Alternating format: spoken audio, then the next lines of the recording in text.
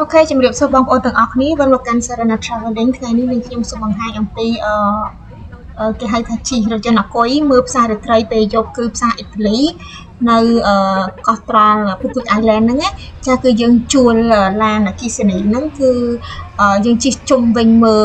ផ្សាររាត្រីពេលយប់គឺស្រស់ស្អាតហ្មងចា Hello everybody, welcome to Sarana Traveling. Today I'm going to show you about the night sightseeing tour at the Italian market at night time. and you're gonna see like a beautiful light night and a lot of street food on the way uh, something interesting over here at night you can see the beautiful light um, have a lot of street food and restaurant bar around the street and then uh, we can hire uh, like a, a battery car or motorbike. Yeah motorbike if you can try the motor you can hire a motorbike only um a two dollar for like 30 minutes